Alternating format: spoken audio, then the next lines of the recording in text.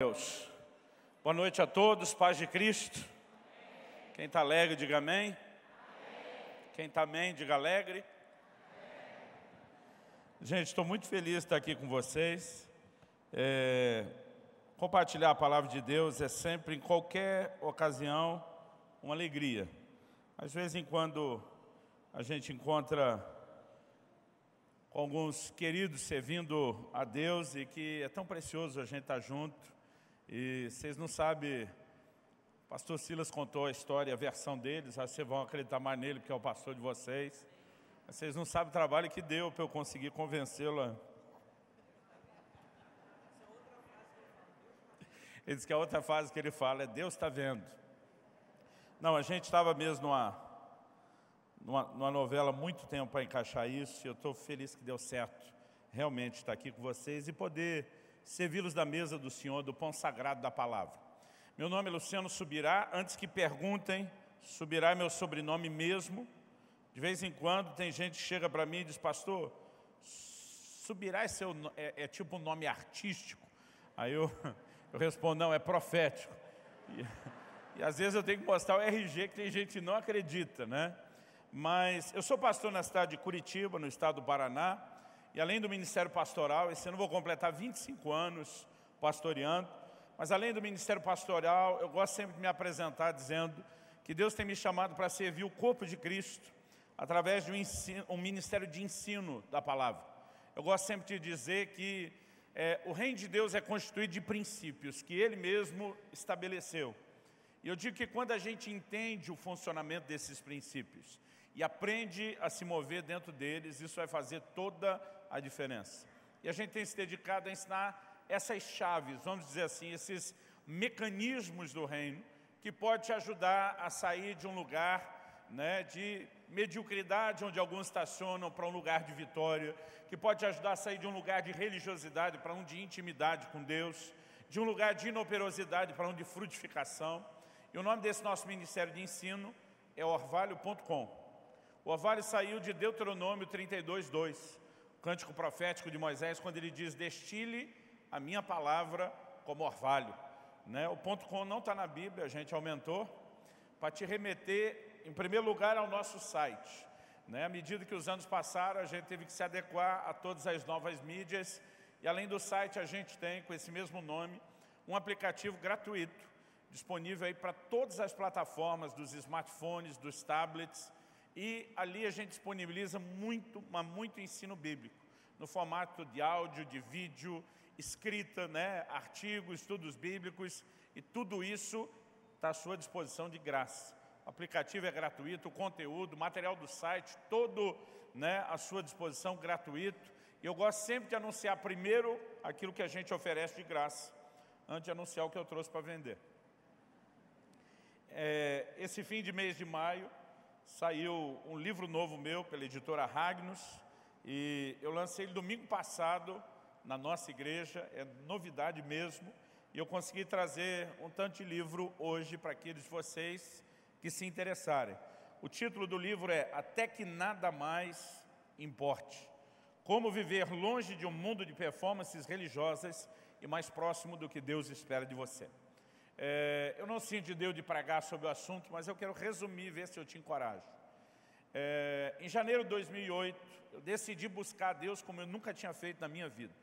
Comecei o ano fazendo o maior jejum da minha vida, foram três semanas só na água. Aquele ano eu decidi que eu ia ler a Bíblia várias vezes, cheguei a ler a Bíblia duas vezes no mês. Eu resolvi separar tempo para orar e buscar Deus, eu achei que eu estava arrasando. Até que numa reunião nossa, o Senhor nos visitou de uma maneira muito especial.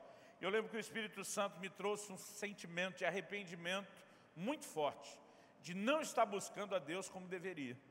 E eu fiquei indignado, porque até aquele momento eu confundia paixão, interesse por Ele, com a performance da busca. Né? E naquele momento eu falei, Deus, se depois de jejuar três semanas, de estar com a cara enfiada na Bíblia noite e dia, orando, né, num ritmo que faz muito tempo que eu não fazia. Eu falei, se isso não está bom, quando é que vai estar tá bom para você? É lógico que a gente não verbaliza essas coisas para Deus, por temor, né? mas o salmista diz, a palavra ainda não me chegou à boca e tu já sabes. Então, você não precisa falar, sentiu, Deus ouviu. Pensou, Deus ouviu. Se você pensar em pensar, Ele já sabe que Ele é o Deus onisciente e presciente.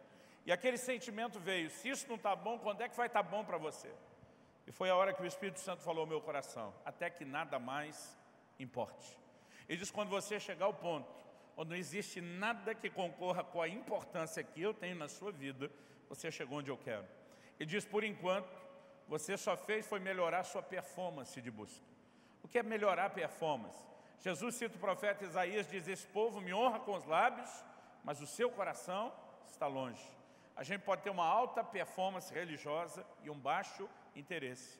Ao anjo da igreja de Éfeso, ele diz, conheço tuas obras, teu labor, tua perseverança. É uma igreja de alta performance, mas ele diz, tem, porém, contra ti, que abandonaste o teu primeiro amor.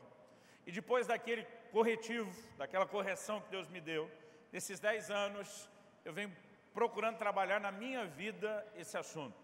E a soma de tudo isso acabou culminando no formato de um livro, que eu diria que é uma das mensagens mais importantes que Deus nos deu, até que nada mais importe.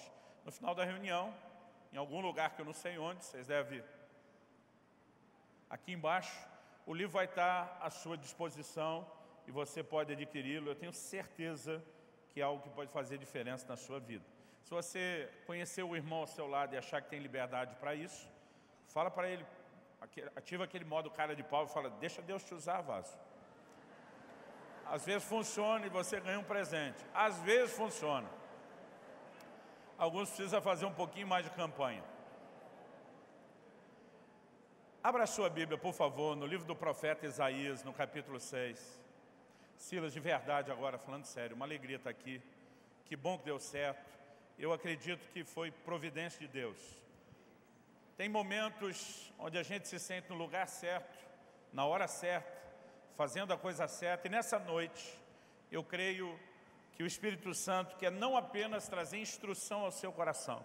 Eu creio que é uma medida, uma porção de Deus para ser liberada sobre nossas vidas. Quantos creem nisso?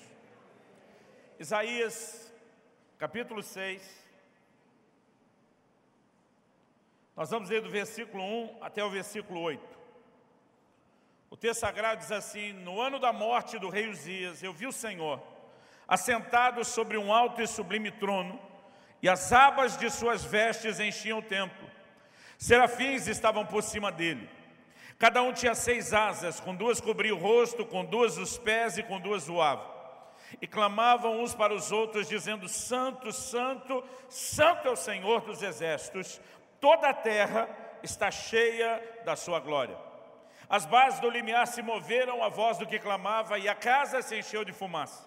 Então disse eu, ai de mim, estou perdido, porque sou um homem de lábios impuros e habito no meio de um povo de impuros lábios, e os meus olhos viram o rei, o Senhor dos exércitos. Então um dos serafins voou para mim, trazendo na mão uma brasa viva que tirara do altar com uma tenaz. Com a brasa tocou a minha boca e disse, eis que ela tocou os teus lábios. A tua iniquidade foi tirada e perdoado o teu pecado. Depois disso, ouvi a voz do Senhor que dizia, quem enviarei? E quem há de ir por nós? Disse eu, eis-me aqui, envia-me a mim. Essa experiência que o profeta Isaías tem é uma experiência muito intensa, muito forte e muito marcante. Eu me lembro da ocasião, há vinte e poucos anos atrás, quando Deus me fez perceber esse texto enxergar nele algo que até então eu mesmo nunca tinha enxergado ou, ou percebido. Estava vivendo um momento de despertamento do Espírito Santo né, me incomodando a entrar nesse lugar de querer experimentar mais da parte de Deus. Eu lembro que era uma época onde, além de todo aquele hábito, tempo com Deus logo pela manhã, devocional diário, vídeo oração, os cultos, parece que nada disso era ainda suficiente. Eu lembro que nessa época havia um grupo de irmãos da nossa igreja, que era aqueles que a gente, lá no sul, a gente bota um apelido quando o crente é meio fanático. A gente chama de aleluiado.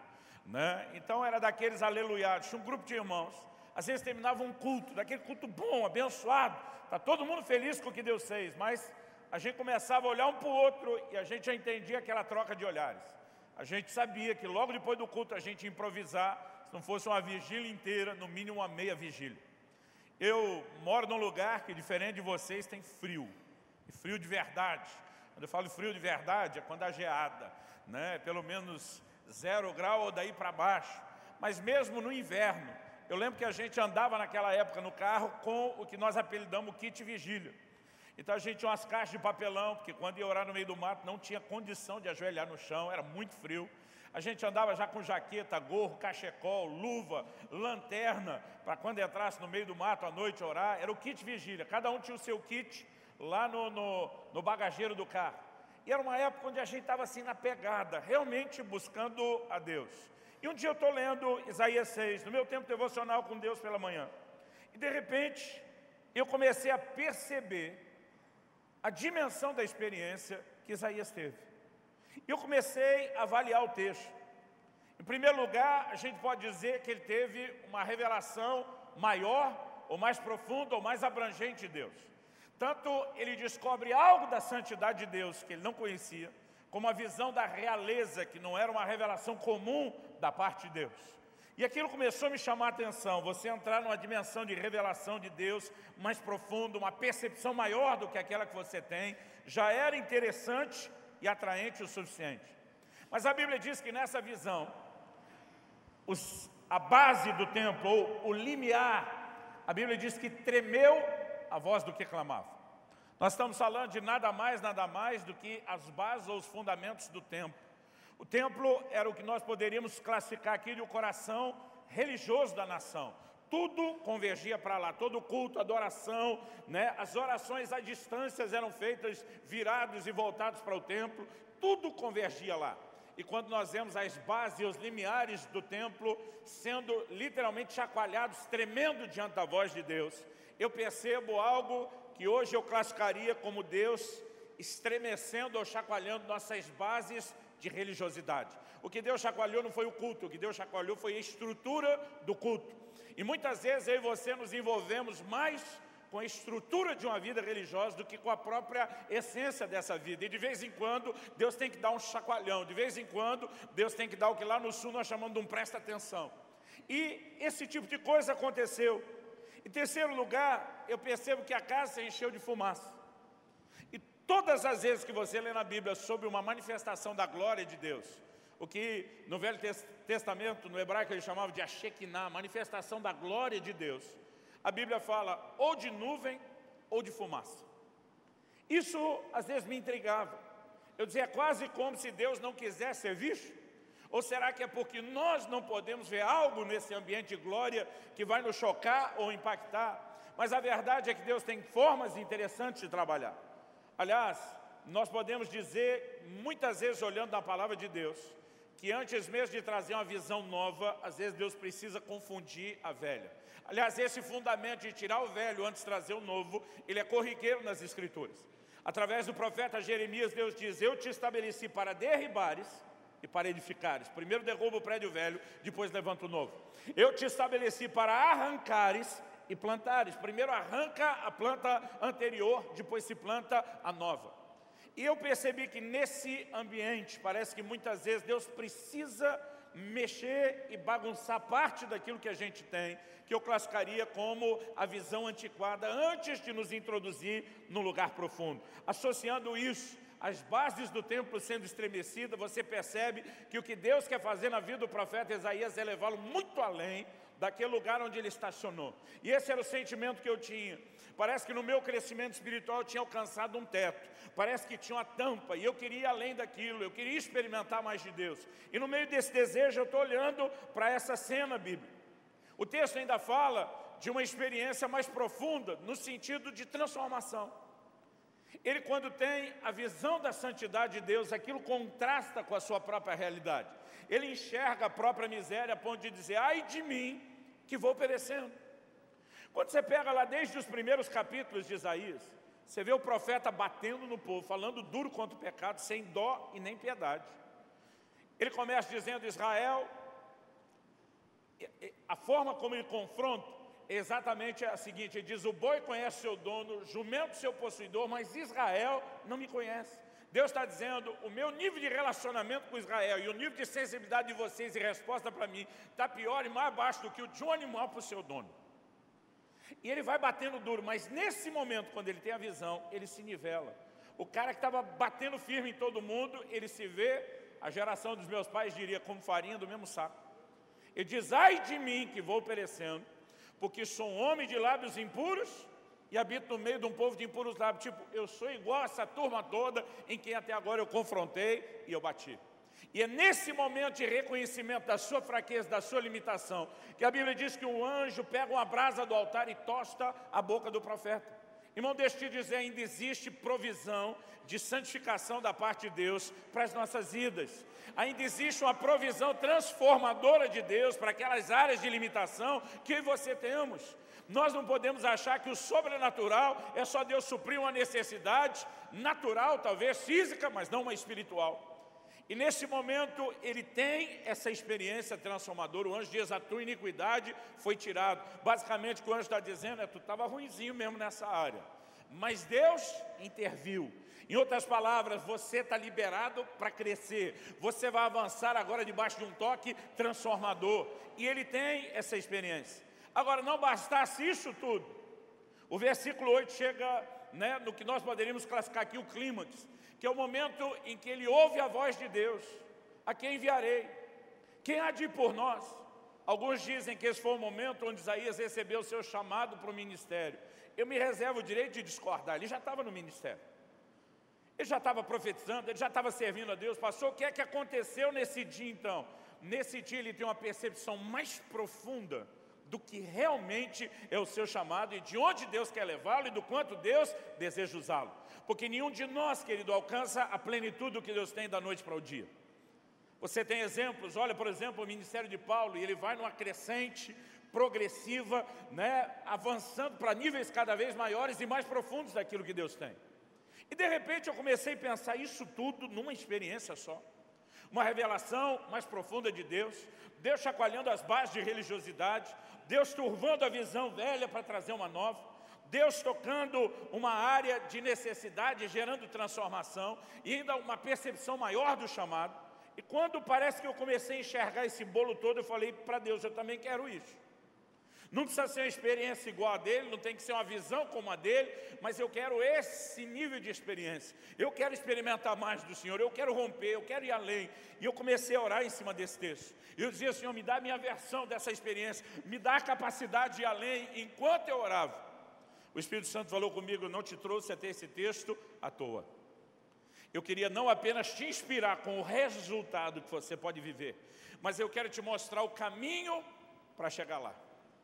E de repente eu comecei a perceber que diante de mim eu tinha simplesmente percebido, encontrado o que Deus simplificou, chamando de um caminho para se experimentar mais de Deus. E se tiver que dar um tema a essa mensagem hoje seria esse, experimentando mais de Deus. Se você não quer, é melhor sair agora. Porque o que você vai ouvir tem o poder de, dependendo como você reagir e lidar com isso, de te levar a um lugar mais profundo em Deus. Se você estiver feliz onde está, eu não posso fazer nada por você. Se você estiver desejando mais, eu quero que você perceba e deixe o Espírito Santo trazer aquela aplicação personalizada dentro de você, que só Ele sabe fazer. Às vezes a gente percebe pessoas no mesmo ambiente ouvindo uma mesma mensagem e cada um pegou aspectos muito diferentes, porque Deus sabe como trabalhar dentro de cada um de nós. Mas eu creio que o Senhor quer nos levar a um lugar mais profundo, a uma experiência maior e mais intensa. Eu creio, falando a linguagem que meu filho usava quando era ainda adolescente, eu creio que dá para passar de fase. Era a linguagem do videogame, passar de fase. E nós podemos entrar no lugar mais profundo em Deus. Então, o que eu quero compartilhar com você foi um entendimento que tem me abençoado desde então. Não acredito que já cheguei aonde poderia chegar. Acredito que eu venho avançando e estou cada vez mais distante daquele lugar de onde Deus me falou e cada vez mais perto daquilo que Ele tem para mim. Mas eu acredito que essa correção, esse ensino, essa instrução e esse encorajamento que eu recebi pode te ajudar. A primeira coisa que Deus me fez enxergar foi a frase que Isaías usa logo no início do capítulo 6. No ano em que morreu o rei Uzias. Durante muito tempo eu achava que isso era mera referência cronológica. Por exemplo, eu não sei se você lembra, mas às vezes a gente dá um episódio e alguém consegue captar a data. Se a gente falar no ano do 7 a 1 da Alemanha, 2014, Copa passada. Às vezes você tem referência de um episódio que ele é citado mero e simplesmente como referência cronológica. Mas depois, lendo e estudando a Bíblia, eu percebi que essa não é uma referência meramente cronológica. Quase sempre no relato que você vai encontrar, começando de Samuel, mas principalmente 1 e 2 Reis, 1 e 2 Crônicas, normalmente quando a referência é cronológica se dizia no ano tal, do reinado de fulano de tal. Agora, o ano em que Uzias morreu, ele não estava reinando. Quem já reinava no seu lugar, mesmo antes da sua morte, foi uma sucessão antecipada. Na verdade, era seu filho. E ele já nem sequer estava no governo. Agora, quando a palavra de Deus nos mostra, poderia dizer então no ano tal do reinado de Jotão, que era o filho de Uzias. Mas eu comecei a perceber essa frase, no ano em que morreu o rei Uzias, os meus olhos viram o rei, o Senhor dos exércitos. Eu comecei a perceber que a Bíblia, na verdade, está anunciando uma troca de um rei pelo outro. No ano em que morreu o rei natural, o rei da carne, os meus olhos viram o rei, o Senhor dos exércitos, o rei espiritual. Toda a revelação de Isaías que ele recebe da parte do Senhor, Normalmente a gente olha muito a parte da santidade revelada, mas toda a revelação gira em torno da realeza de Deus. Ele diz que Deus estava sentado num alto e sublime trono. O que, que é o trono? A cadeira dos reis, que normalmente se assentava nas audiências públicas. Ele diz: as orlas do seu manto enchiam o templo. Que manto é esse? Um manto real que se usava nessas audiências públicas. Ele, na verdade, ele está enxergando e entrando no lugar de uma revelação de Deus como rei, que substitui a visão que ele tinha de um outro rei. E a única forma de nós entendermos essa substituição e o seu simbolismo é quando a gente deixa a Bíblia explicar a Bíblia. Porque o nome Uzias, para mim e para você, não significa muita coisa. Para aqueles de nós que estudamos um pouquinho mais a história dos reis de Israel e de Judá, essa era a época do reino dividido, talvez ainda faça pouco sentido, mas não muito, porque a gente estava completamente fora do contexto cultural. Mas Uzias não foi um rei qualquer. Talvez depois de Davi nunca houve um conquistador, um general de guerra, que tenha levado a nação a um patamar tão alto de domínio como Uzias fez na sua geração. Ele era alguém que assume uma nação quebrada, falida, fraca e a transforma numa das maiores potências dos seus dias. Nós vamos ler um texto bíblico que mostra essa força que ele tinha.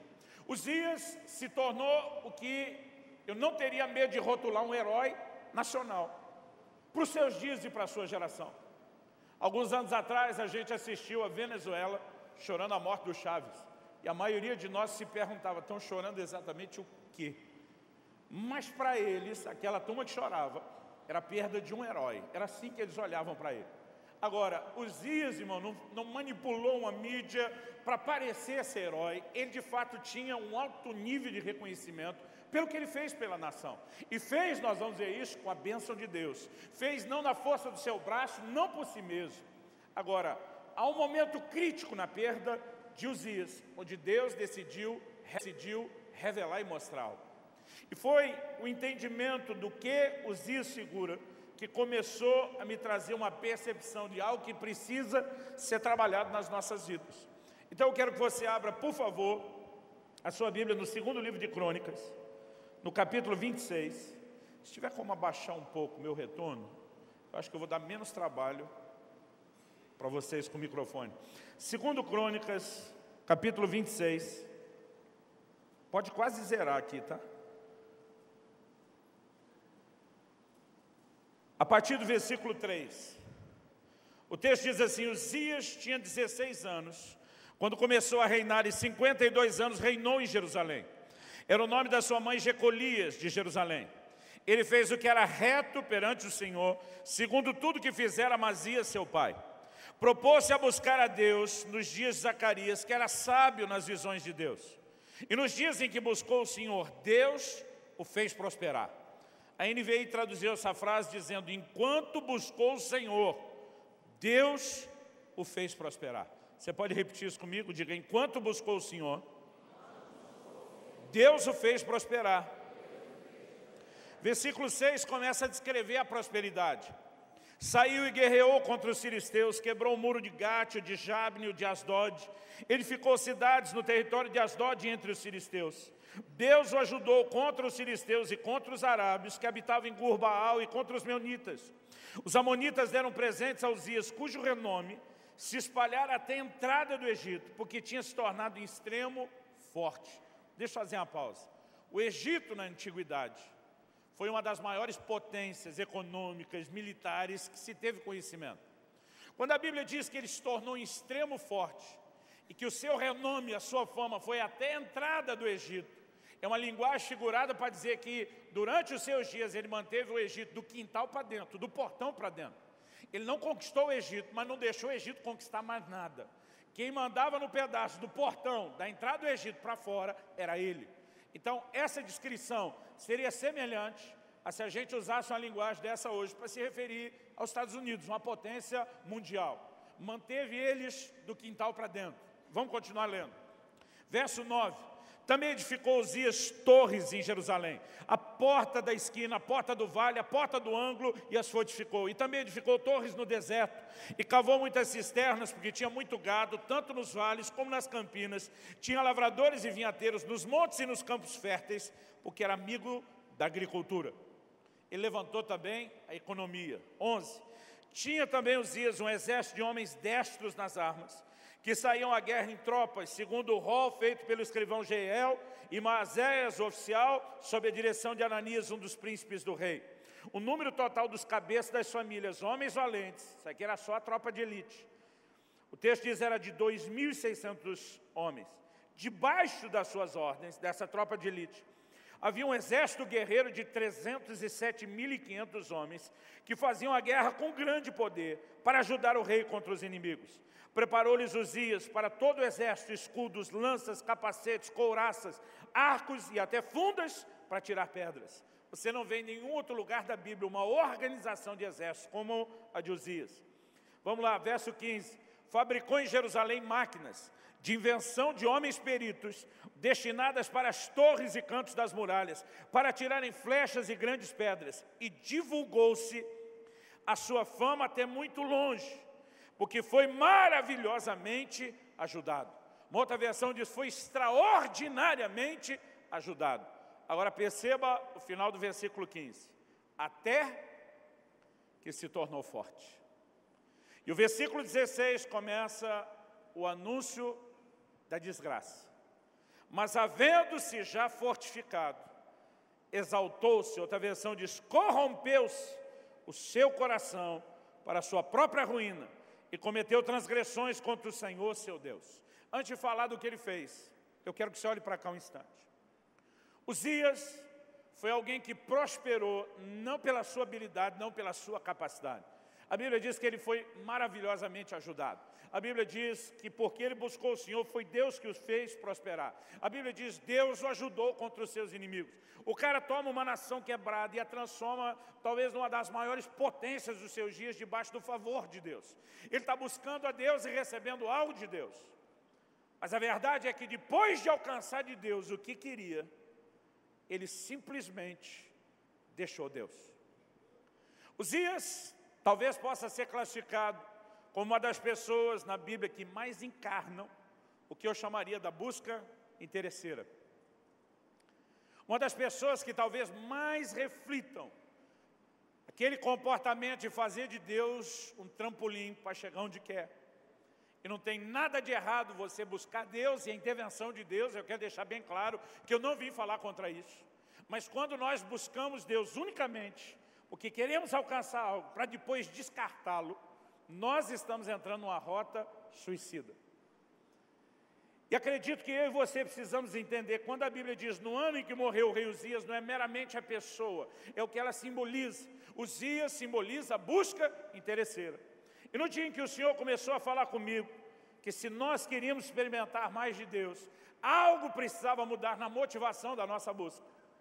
A primeira coisa que a gente costuma fazer, porque Jesus disse que é mais fácil ver o cisco no olho do irmão do que a trave no nosso. Primeira coisa que a gente costuma fazer é sempre pensar que tem alguém pior do que nós.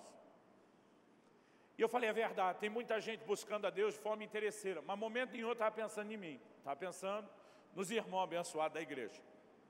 Eu falei, tem uns camarada, porque, gente, todo lugar, desde que o homem é homem, que a humanidade existe, o comportamento é parecido. A Bíblia diz que dez leprosos vieram até Jesus. Todos os dez foram curados. Mas a Bíblia diz que só um voltou para agradecer. E quando Lucas 17 nos fala desse um que voltou para agradecer, o interessante é o desabafo que Jesus faz. A Bíblia diz Jesus olha para esse um e diz, onde é que estão os outros nove?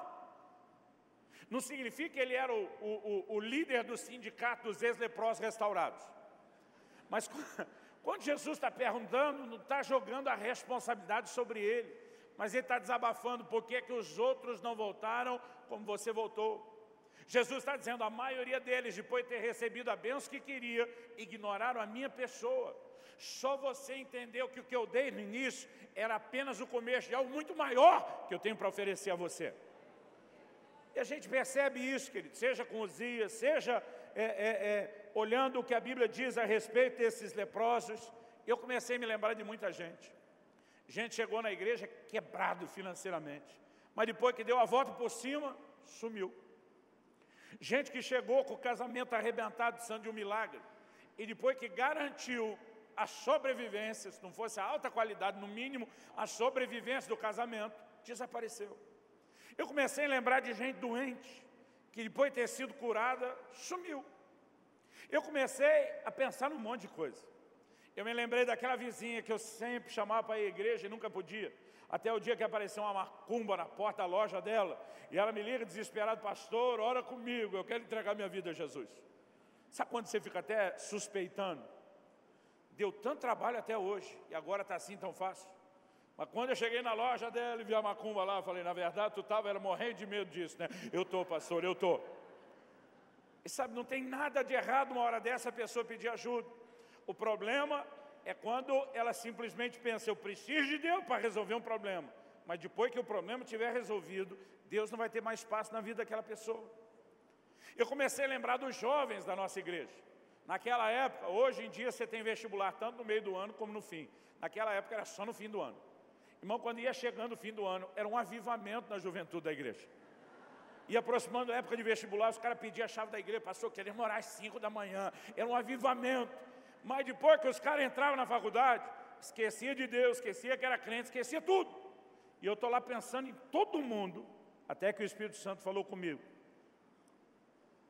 Eu não estou tentando falar dos dias dos outros. Ele falou comigo, eu quero falar dos seus dias. E eu levei um susto. Meus dias? Tem os dias aqui não. Eu não sei de onde a gente tira essa ideia de achar que pode discutir com Deus. Ele nunca está errado. Ele sabe tudo, mas a gente ainda discute. Não, não, aqui tem os dias não.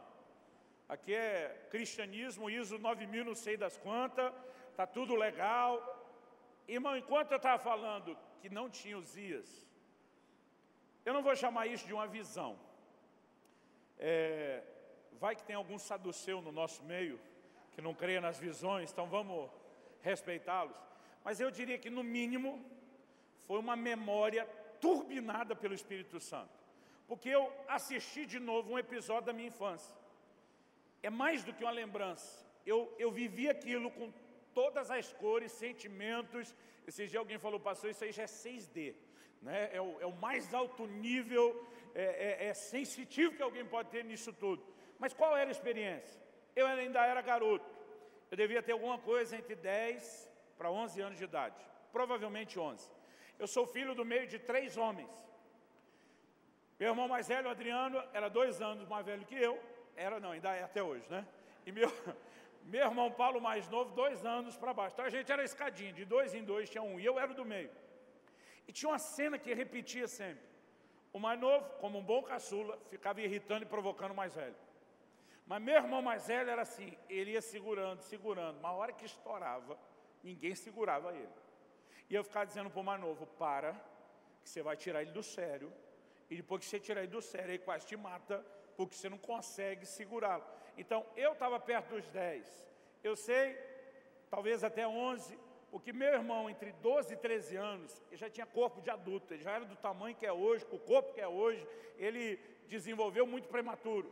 Então você imagina um cara que já tem corpo de homem, E o caçula, talvez com oito, nove anos, aquele, a, a, além do corpo de criança, ele era o mais magrinho, mais franzininho de casa. Então, quando ele tirava o mais velho do sério, ele quase morria de tanto que apanhava. E eu ficava com dó de ver ele apanhando daquele jeito, entrava para ajudar e apanhava junto. E eu dizia, eu não fazia nada e tinha que apanhar junto. E aquele negócio foi me cansando. Nesse dia eu falei, para de mexer que eu não vou mais tentar te salvar. Porque toda vez você não me ouve, eu apanho junto. E ele continuou provocando, provocando. E o mais velho perdeu a paciência. Quando perdeu, irmão, parecia uma, uma fera que escapou da jaula. E foi para cima dele, e o mais novo achou que ia conseguir correr e não conseguiu, porque ele cercou ele para o canto da sala e ele não tinha para onde correr. Quando eu olhei, apesar de estar com raiva do mais novo não ter me ouvido, eu também fiquei com dó. Porque eu pensei, está morto. Isso tudo que era tudo crente, tá, irmão? Eu pensei, está morto. É lógico que papai e mamãe nunca estavam em casa essa hora, porque senão não era desse jeito que acontecia. E eu pensei, como é que eu posso salvá-lo sem apanhar junto? E me deu uma ideia que eu achei que era brilhante. Falei, vou distrair o touro para ele vir em cima de mim. Eu corro, escapo para um lado, meu irmão para o outro. Eu lembro que era uma tarde quente, nessa época eu morava no interior de São Paulo. A gente, garoto, tudo só de short, bermuda. Eu lembro que eu dei um tapa nas costas do mais velho mas daquele assim, deixar o carimbo, a marca da mão, bah! E bati e corri, irmão. Só que eu lembro, eu era, nessa época, acredite, eu fui magro, eu, eu era o que mais corria ali dos irmãos. Mas enquanto eu saí correndo, dei a volta pelo sofá, meu irmão já saiu correndo, pulou por cima. Já quase me pegou na primeira, eu escapei por pouco. E tudo que eu mirava era a porta do nosso quarto. Eu pensava, eu tenho que passar e trancar. E eu lembro que nessa corrida, corredor de casa não era grande, devia ter uns cinco, talvez no máximo seis metros é, é, entre a sala de jantar e tinha um corredor, a porta do banheiro aqui à esquerda e a dos quartos no fundo. Era dois quartos na casa, naquela época era assim, quarto dos pais, quarto dos filhos, não tinha mais do que isso. Tinha suíte, tinha nada disso. E eu saí correndo. Quando entrei naquele corredor e ele atrás de mim, eu vi uma vassoura esquecida. A nova geração não é muito diferente da velha. Papai ou mamãe mandava a gente ajudar a limpar a casa, a gente varria uns dois metros e encostava para descansar. Então não sei quem que deixou a vassoura ali para descansar, mas a hora que eu passo correndo e vi a vassoura, foi reflexo. Eu nem pensei, foi instintivo, correndo do jeito que eu estava. E até hoje eu não sei como num corredor apertado eu fiz isso. Mas correndo eu passei a mão naquela vassoura no cabo. E correndo eu peguei, virei e joguei. Só para atrapalhá-lo para eu tentar ganhar tempo. Irmão, até hoje não sei como deu tão certo, ou na verdade tão errado. Porque eu consegui pegar aquela vassoura, correndo, virar ela e jogar. E ela foi reta assim, que nem aqueles arremessos de dar. E meu irmão, que estava pouco atrás na corrida, a ponta do cabo de vassoura pegou no pescoço dele, no gogó. Eu só lembro dos pés levantando e ele caindo de costa. E essa pancada com ele correndo, empurrou esse gogó dele para dentro. E ele não conseguia respirar. Ele começou a se debater no chão, eu vi que ele foi mudando de cor e me deu um desespero, eu queria ajudá-lo, mas eu pensava, se for teatro também ele me pega. Pensa, pensa no desespero.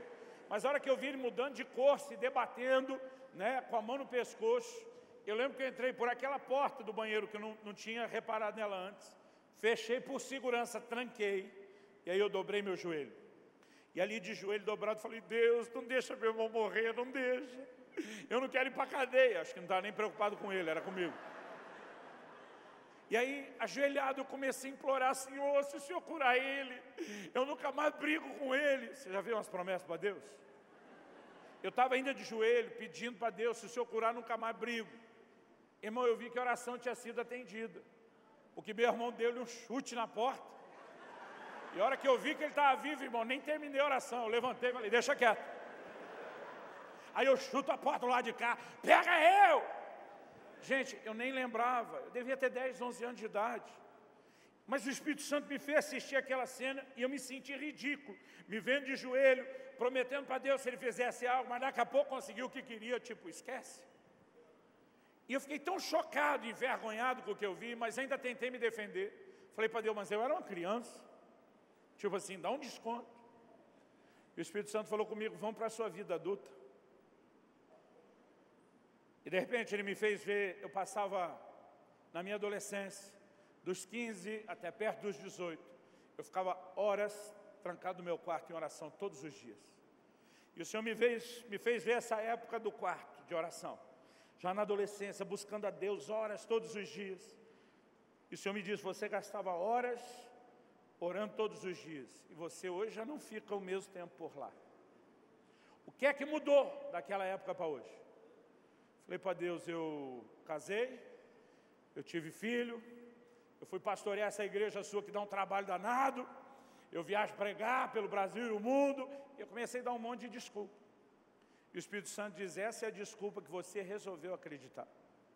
E diz: Eu vou te dizer o que te tirou daquele quarto. Você passava lá horas e horas, todos os dias. O que você queria, o sobrenatural. Mas quando você começou a ver milagres e as manifestações dos dons e conseguiu o que você realmente queria, que não era a minha pessoa, era o que eu poderia fazer, você já não tinha mais interesse nenhum de estar naquele quarto. E de repente a casa caiu. Porque eu comecei a enxergar, quando Deus mostra que Ele, não só fala, Ele te faz enxergar e entender.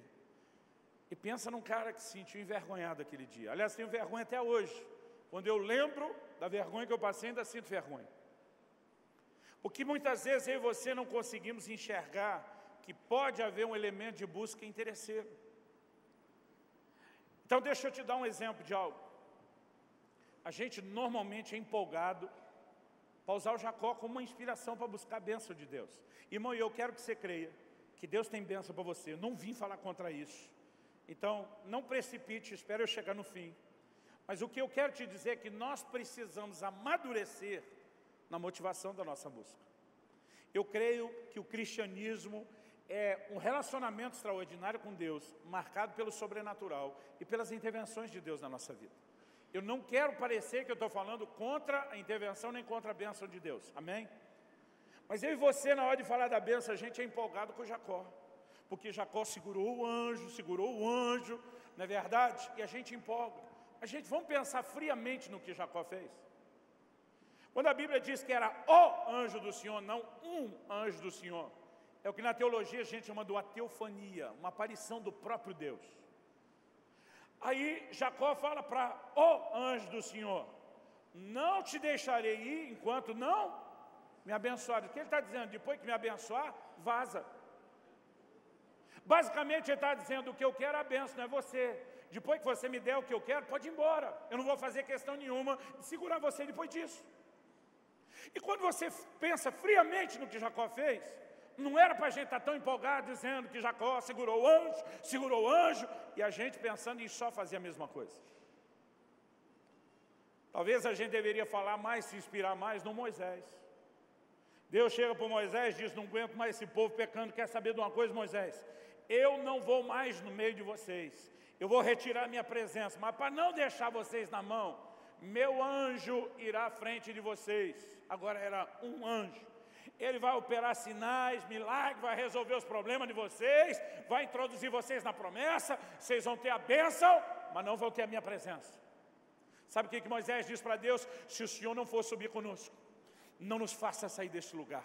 Sabe o que ele está dizendo? É ruim que nós vamos trocar a sua presença por uma bênção qualquer, por uma promessa herdada. O que nós queremos é maior do que a bênção, o que nós queremos é o abençoador conosco. Agora, por que, que a gente é mais empolgado com Jacó do que com Moisés? Porque de alguma forma Jacó nos reflete muito mais. E Deus naquele dia começou a falar ao meu coração: você quer entrar nesse lugar, nessa dimensão de experimentar mais. Os dias têm que morrer. Quem é os dias, querido? É a busca interesseira. É aquela busca que não é a presença pela presença, é o que a presença proporciona, é o que Deus pode dar. E quando eu comecei a entender isso, algo começou a mudar, não só na minha mentalidade. Irmão, você olha a geração que perdeu a arca. O que era a arca? Era o símbolo da presença de Deus. A geração de Eli perdeu. Foi dito na hora que nasceu o neto de Eli, Cabode, foi-se a glória de Israel. Eles perderam. A arca simbolizava a presença de Deus. Quando Israel levantava acampamento, Moisés dizia lá em Números 11: Levanta-te, Senhor, e sejam dispersos diante de ti os seus inimigos. Quando a arca, que era a primeira a parar, estabelecia acampamento, ele dizia: Vem, Senhor, e encontra repouso entre os milhares do teu povo de Israel. Eles reconheciam aquilo como símbolo da presença. Agora, a geração de Eli, Siló, que era o lugar onde estava o tabernáculo, a Bíblia diz que a tenda estava caída, os filhos de Eli se prostituíam à porta do templo, ninguém estava honrando ao Senhor. Aliás, Deus diz: Eu honro os que me honram, mas os que me desprezam, eu desprezarei. E aí eles entram em guerra com os filisteus, perdem a primeira batalha, e na hora do aperto, alguém lembra: Vamos trazer a arca de Deus. Será que eles queriam a presença? O que eles queriam era o amuleto era o resolve tudo, era aquela coisa mística em volta da arca que resolveria o problema deles. Mas a Bíblia diz que quando a arca chegou, a terra estremeceu com júbilo. Agora, irmão, deixa eu te dizer: verdadeira adoração não é barulho. Verdadeira adoração é um ambiente onde não se diga de nós o que Isaías falou daquele povo: esse povo me honra com os lábios, mas seu coração está longe. Porque muitas vezes a gente faz o barulho, mas não há um coração inclinado, não há um coração que se aproxima de verdade. E o que, que aconteceu? Eles entram em batalha, perdem a próxima batalha, ainda perdem. Ah, entendendo, diga amém. Agora, nós sabemos que para experimentar mais tem que se livrar de Uzias. Nós sabemos que Uzias representa a busca interesseira. Agora, qual a lição prática que eu e você precisamos receber aqui hoje? Como o perdão da palavra, como o miserável dos dias morre. Como é que a gente se livra dele? Então vamos voltar em 2 Crônicas 26. 2 Crônicas 26.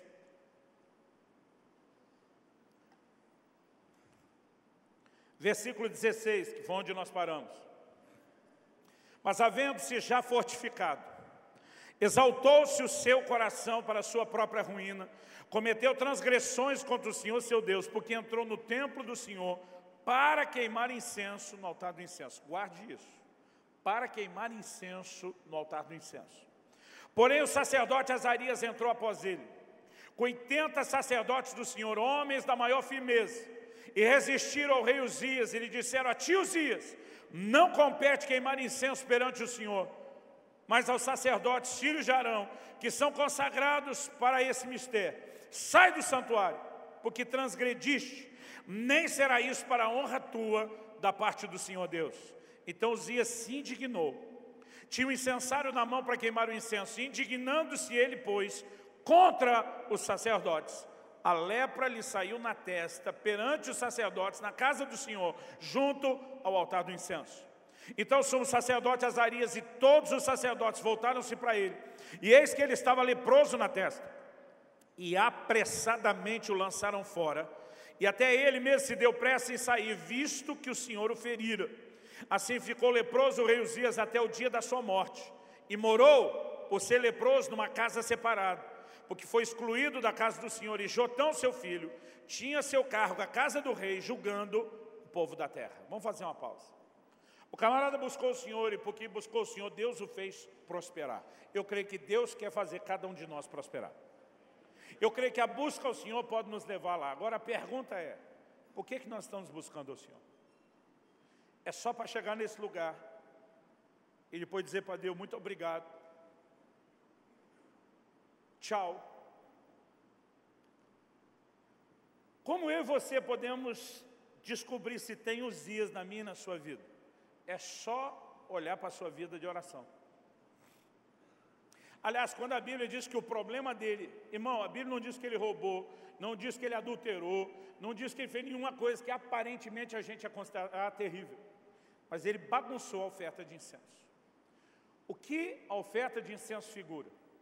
Desde o Salmo 41, quando a Bíblia diz: Suba a ti a minha oração como incenso, e seja o levantar das minhas mãos como sacrifício da tarde. Até o livro de Apocalipse, quando João vê o incenso sendo oferecido diante do trono de Deus. E ele diz lá em Apocalipse 5,8 que o incenso são as orações dos santos. Nós vemos uma figura que define o que é a oferta de incenso. É a vida de oração do crente. Onde eu e você vamos descobrir os dias na nossa vida de oração. Quando você gasta tempo com Deus em oração, a maior parte do tempo que você está lá orando, qual é o seu foco?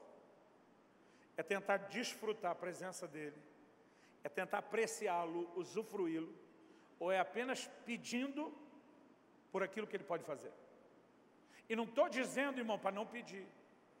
Foi o próprio Jesus que diz, pedi e recebereis. Até agora nada pedisse em meu nome. Pedi para que a vossa alegria seja completa. Não estou falando contra o pedir.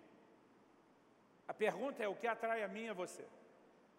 Porque o ponto não é como eu e você chegamos a Cristo.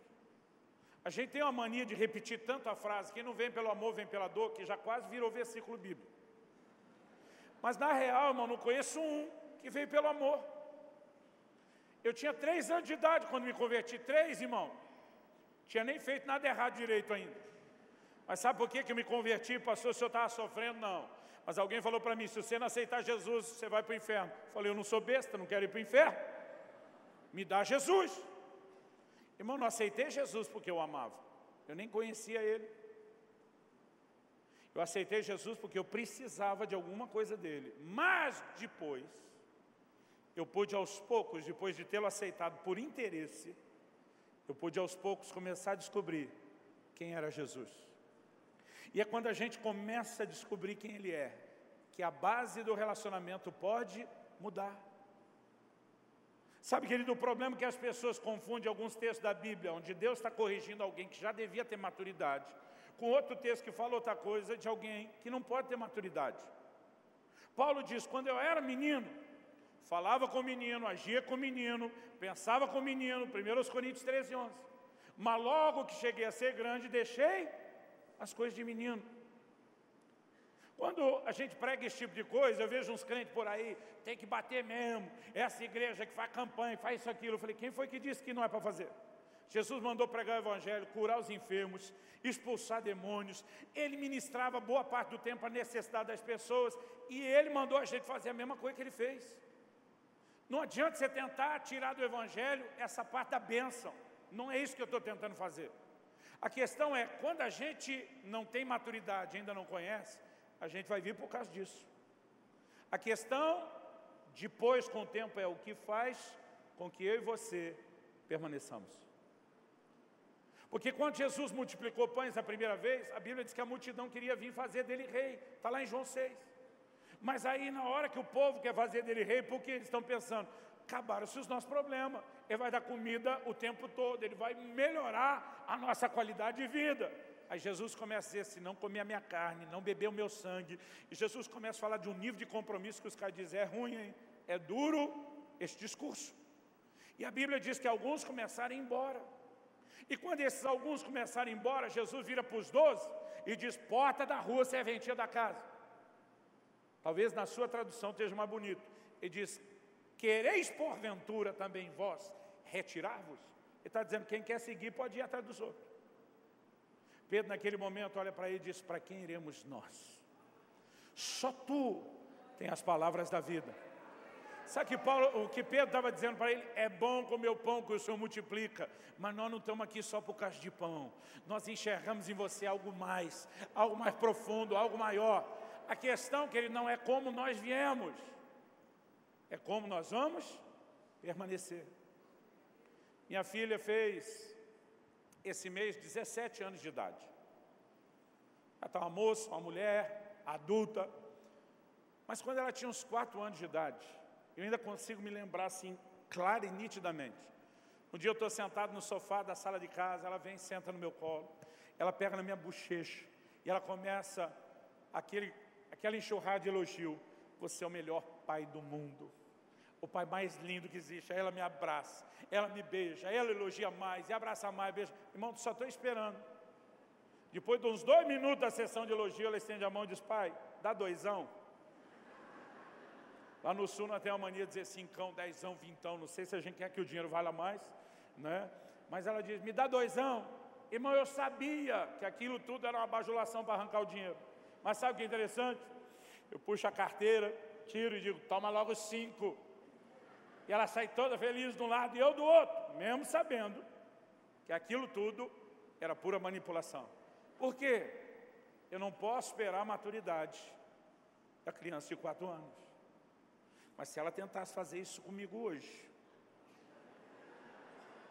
o negócio ia ficar feio para o lado dela.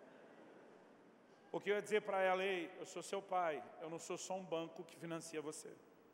Quem consegue entender a diferença? Quando meu filho era criança, hoje já está adulto e casado, mas até aquela fase ali, eu acho que era dos três anos, perto dos quatro, eu lembro dele gritando no banheiro, pai, ou mãe, vem me limpar. Se ele gritasse isso hoje, com 20 anos de idade, casado, eu dava nele. Porque aquilo fazia sentido quando ele tinha aquela idade, mas não faz mais sentido hoje. Então, quando o Paulo está dizendo, quando eu era menino, ele está falando de um lugar de maturidade espiritual. O problema é que a maioria de nós acha que deveria permanecer criança para sempre. Quando Deus está dizendo, eu tenho algo muito maior para você, eu tenho algo muito melhor para você. E sabe, querido, eu quero te dizer, continue crendo pelas intervenções de Deus, mas não busque a Deus só por causa disso. Porque quando eu olho para aquela geração de Eli que buscou só o que Deus podia fazer, foi a geração que acabou perdendo quem ele é. Quem busca Deus só pelo que ele faz, vai acabar deixando de desfrutar quem ele é. Mas quando eu olho para a geração de Davi e vejo ela focada em buscar Deus pelo que ele é, é inevitável que você então também vai desfrutar daquilo que ele faz. Outro dia uma pessoa chegou para mim lá na minha igreja, falou, pastor, me ensina as manhas, pastor. Falei, as manhas do que, criatura? Ele falou, pastor, me ensina o que, que eu preciso fazer. E eu ficava olhando para ele, eu estava tentando entender do, do que, que está falando, criatura. Ele falou, pastor, você é um homem abençoado. Me ensina a correr atrás da benção também. Eu falei, não posso te ensinar isso. Não é justo o senhor ficar só para você. Eu falei, não, irmão, não posso te ensinar isso, porque eu não sei o que é isso que você está falando. Não, pastor, eu vejo a sua vida, sua família, suas finanças, tudo que o senhor bota a mão é abençoado, me ensina. Eu falei, eu não posso te ensinar o que eu não sei.